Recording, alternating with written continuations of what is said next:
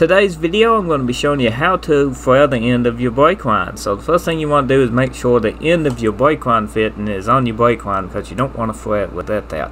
The brake line tool you see in the video is one you can find from Advance or AutoZone or you can get online. They come in the kit with different little uh, I guess mushroom fittings or whatever you call it. You want to line it up with the bottom notch like you see here then tighten down your brake line clamp tool whatever. It's got a fancy name. I don't know what it is. But it lines up with that bottom mark.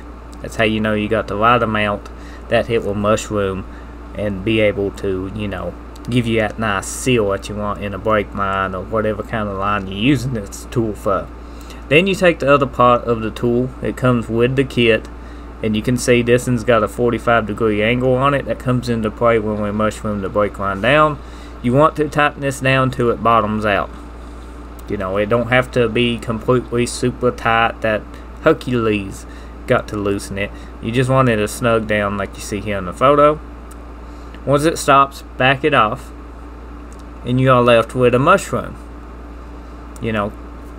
So, the 45 degree that's on this tool, you can get these in different degrees by the way. The 45 degree will go down into the brake line and uh, mushroom everything so it will seal off good for your brake lines or whatever you're using it on. So we are now tighten it.